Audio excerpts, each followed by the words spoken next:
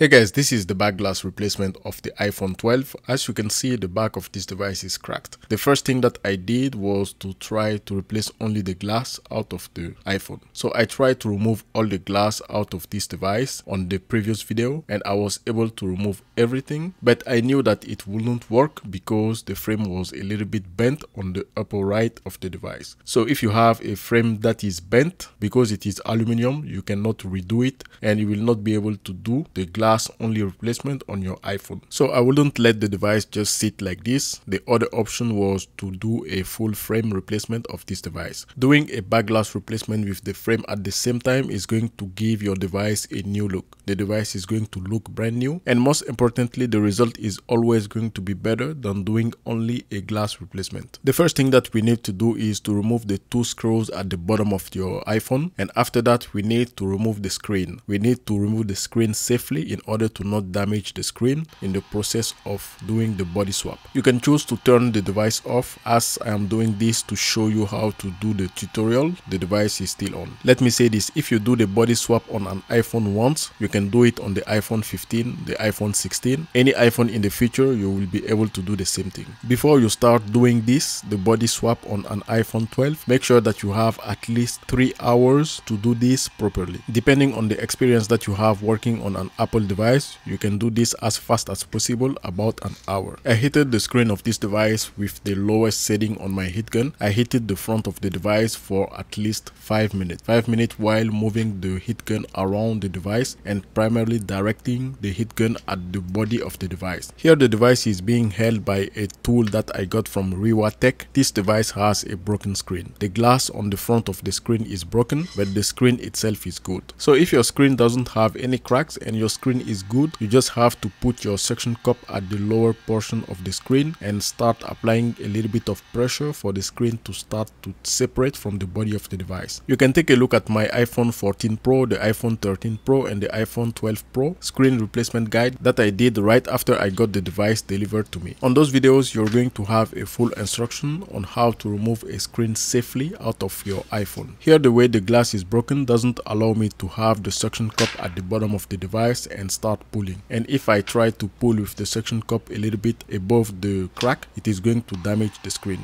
The screen is going to get cracked and I will not be able to restore the screen later. I will have the links to the screen replacement guide on the other iPhones in the description. After having an opening between the iPhone and the body of the device I ran my tool one of my guitar pick on all four corners and I was able to separate the screen from the body of the device. Also while inserting your tool between the screen and the body of the device make sure that you do not insert the guitar pick far inside. The left of this iPhone 12 is where we have all the flex cables. If you put the tool far inside, you risk to damage the cables. After you remove the retaining plate that is held by two screws, you can remove the battery cable first. Removing the battery cable should be done with your finger or a plastic tool. After that, you can remove the other two flex cables. It is relatively easier to remove all the retaining plate like the one that I just removed and the other one that you removed earlier in order to have access to the battery cable. All the retaining plates removed, disconnect the three flex cables that are coming from the screen and then remove the screen from the device. Next, I decided to remove the battery. Removing the battery, you can pull the pull tabs at the top of the battery and one at the bottom of the battery. As always, these things, sometimes it does work, sometimes it doesn't work. Here, I was able to pull most of the sticky pull tabs at the top of the battery, but after that, it didn't do anything. The battery is still held by the double-sided tape at the back of the battery. So as always, I went back to hitting the back of the device in order to remove the battery. If the device did survive me hitting the back of the device, trying to remove all the glass, hitting the back of your device to soften the double-sided tape on the back of your battery is not going to damage anything. You do need to keep moving the heat gun in order to avoid having too much heat on a single spot. After the back of the device has been heated a little bit, I inserted a plastic tool at the top of the device and started pulling. As you can see, we still have a lot of double-sided tape on the back of this battery and trying to pull it didn't do anything. With the top of the battery already disconnected from the body of the device, I just need to pull the battery and it will be removed from the inside of this device. Removing the screen was the first step, removing the battery is the second step. After those have been completed, we can start the removal process of the screws and all the other components that you see inside your iPhone 12. I started with the camera because that is the easiest thing that I can remove first. The camera is held by a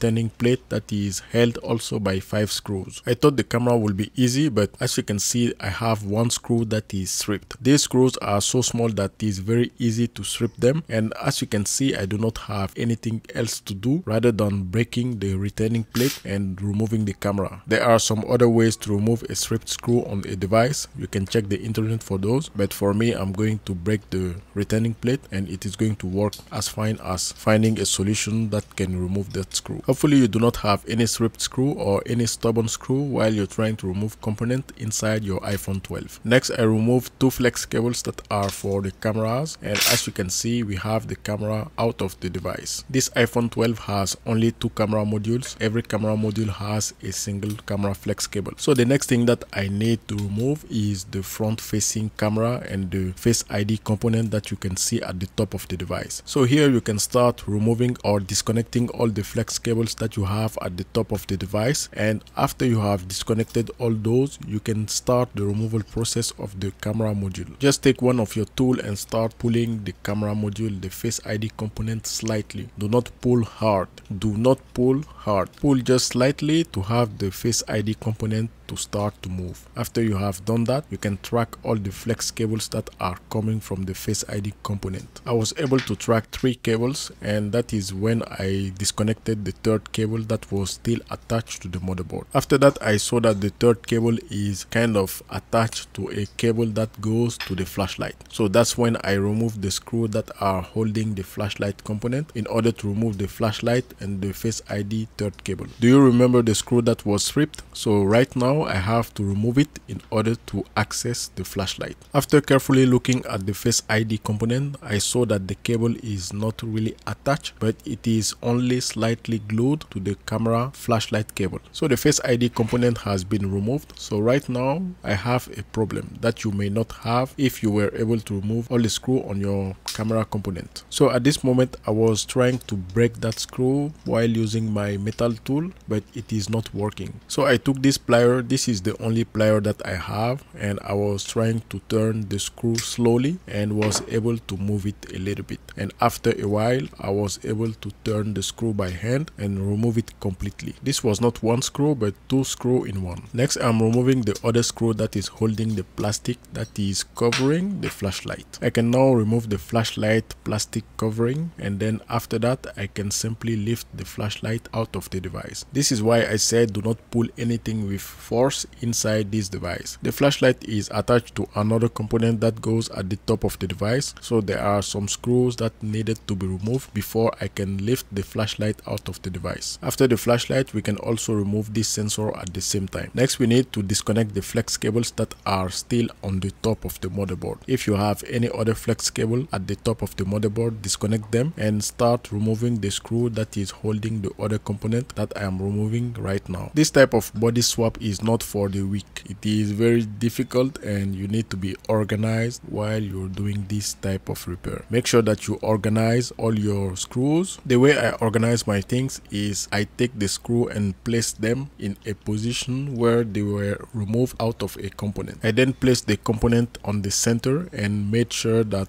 everything is in the correct position. So I will not mix my screws while I reinstall everything inside the new body of the device. Also it is very easy to miss a thing that can cost you a component. So right now I have removed all the screws at the top of the device above the motherboard and I still cannot remove that component. So I started disconnecting all the other flex cables that are connected to the motherboard. This is what I have been doing in the last few minutes. At this moment I knew that the motherboard should be the next to be removed in order to access those components that are still inside the device. The motherboard is held by some screw at the top of the device and at the bottom of the device. Unfortunately, those screws are all different. Some are the same, but it is not all the same. Here again, you need to keep track of the screw that you remove out of the device. And in order to remove the motherboard, we need to remove the SIM card tray. So we are starting to remove the screw that are at the bottom of the SIM card tray. And after the returning plate removed, we can start disconnecting the SIM card tray flex cables. So this was my first time doing a full body swap on the iPhone 12 and I can see that it is is a little bit challenging if you do not have the manual. So after I disconnected the flex cable of the SIM card tray, I tried to lift the motherboard slightly and it was not moving. My next step was to remove all the screws that are connected to the SIM card tray. Removing all those screws and removing the SIM card tray, I can see if there is something that I do not see that can help me removing the motherboard easily. At this moment, I thought I removed all the screws that were attached to the SIM card tray. I tried to lift the SIM card tray and it is not working. So there was one screw that I missed. After removing that, I can see the SIM card tray is out of the device. And I disconnected one of the flex cable that was below the SIM card tray. So that's when I saw that there was another flex cable that needed to be removed in order to access the motherboard. Again, do not pull anything hard, just pull slightly and see if it moves. And I saw that I needed to remove also those screw at the right of the camera module. This whole thing at the right of the device is attached to the motherboard and cannot be separated from the motherboard. So if you damage that cable that connects the right side of the device to the motherboard, you do not have any option but to replace your motherboard. This is what I call the extreme or the ultimate anti-repair that Apple has created since the iPhone 12. So let's recap. You need to remove all the screws that you have at the top of the device near the camera module area. After that, you need to remove all the other screws that are near the power buttons. After you have removed all those screws that are on this flex cable, you need to disconnect that flex cable from the 5G antenna that is attached to the right side of the device. After all that, you need to lift that portion of flex cable slightly. Make sure that it is moving freely. Again, do not pull with any force, just pull slightly. And everything that I am about to do next, you should have done it before you remove that other component that is attached to the motherboard. You can see this cable below the motherboard. It should have been removed, disconnected before I started working on the right side of the device. And also at the top of the device, this plastic portion is covering a flex cable. This is the flex cable for the buttons at the left of the device. After you have removed that plastic portion, you can disconnect that flex cable. So I recommend that you remove or disconnect those two flex cables before you start removing the screws at the right of the device. It will make it more easier to remove the motherboard and a little bit safer. You can see the motherboard is no longer attached to the body of the device and if everything has been disconnected and removed at the right of the device, we can lift the motherboard entirely out of the device. Apple is charging close to $400 for a back glass replacement. Do you think it's worth it? Try this and let me know in the comment box. Next, we need to remove that component that was at the top of the motherboard. You can see it has an extension that goes below the motherboard. In your case with the back glass, you need to apply a little bit of heat around that area and start to pull it slightly. You can see it is very fragile and it has a very thin flex cable connection. Make sure that you're careful while you're trying to remove it. I started moving at the bottom of the device in order to remove those components. I didn't remove the flex cable for the volume buttons and the flex cable for the wireless charging. Those are already installed in the body that I purchased for this iPhone 12. Also, this is a recommendation if you have to purchase a body of your iPhone 12, make sure that you get the one with the small component installed. You will not have to remove those small components out of your iPhone body and it is going to save you a little bit of time in the removal of the bottom portion of your iPhone. You can get the body of your iPhone 13, the iPhone 11, the iPhone 14 with a small component already installed. The bottom portion also is a little bit tricky. You need to remove all the screws and organize them. After you have removed all the components, you will be left with the cable that has the charging module attached on it and other small components. So right now I thought I removed everything and I was able to slide my tool at the bottom of the device in order to start the separation between the flex cable and the body. I recommend that you do not proceed that way and start to remove the screws that you see me removing right now. And after you have removed all those screws, make sure that you check again to make sure that you didn't miss any screw that is still attaching one of those components to the board. After the four screws holding the charging port has been removed, you can see the charging port is moving slightly now. So here again, I try to pull the charging module slightly and it is moving but not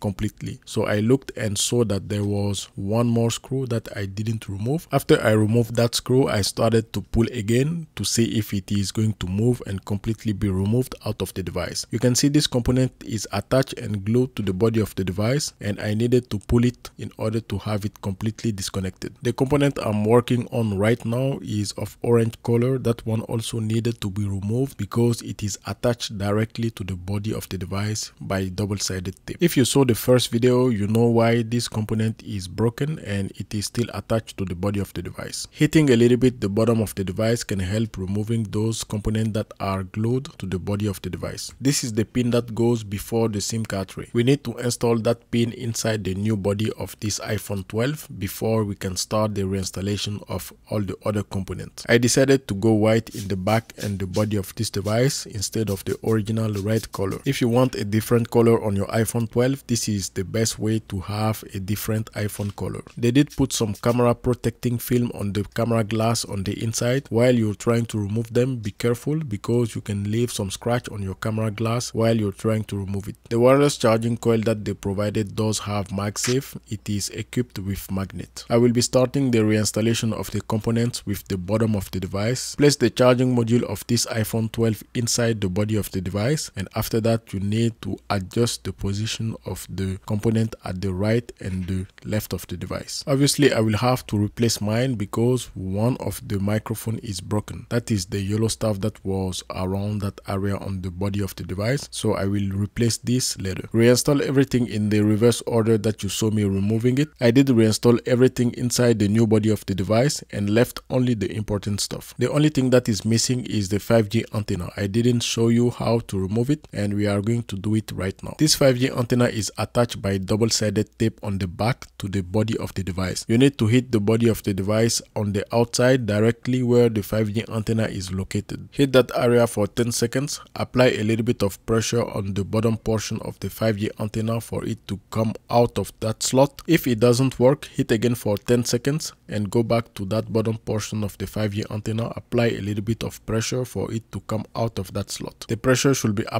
at the bottom portion of the 5G antenna where we do not have a flex cable connection. The first thing that I installed was the charging module at the bottom of the device. After that, I did install the Wi-Fi antenna at the top of the device. After those, I then installed the motherboard of this device. After the motherboard, I installed the SIM card tray. After the SIM card tray, I started the installation of the front facing camera component. After those, I installed the back or rear camera and after that, I did install the screen of the device, the screen and the battery. As I said in the beginning of this video, the screen glass is broken. So I will be doing a screen glass only replacement on this iPhone 12. I tested everything. Everything is working flawlessly. There is no problem with this device after I transferred all the components from the red iPhone body into this white iPhone body. So at this point, we need to reinstall the battery of this device. Reinstallation of the battery, you need some new double-sided tape. After the double-sided tape has been installed, we can put the battery inside the body of the device. Put the battery inside the device, make sure that you do not connect the battery. After that, you need to install a new double-sided tape on the body of the device that is going to seal the screen and the body of the device together. Next, you're going to connect the speaker flex cable at the top of the motherboard. You go to the middle of the motherboard and install the two screen flex cables. After those has been completed, remove the plastic film that is covering the double-sided tape before you close the device. Close the screen on the body of the device and start to apply some pressure around your screen for it to stick onto the body of the device. If you have some repair clamps, you can apply the repair clamps on the screen. It is going to keep a constant pressure on your screen for it to stick onto the body of the device. If you do not have pressure clamps, it is alright. You can just close the device, apply some fingerprint pressure all around your device and it is done. Click on the screen for the glass only replacement on the iPhone 12. As of me, I think both methods are difficult. I do recommend that if you want the best result for your repair, you need to transfer all your components from the old body into the new body. This is going to give you the best result compared to doing a glass only replacement. Subscribe, like and share and I will see you next time.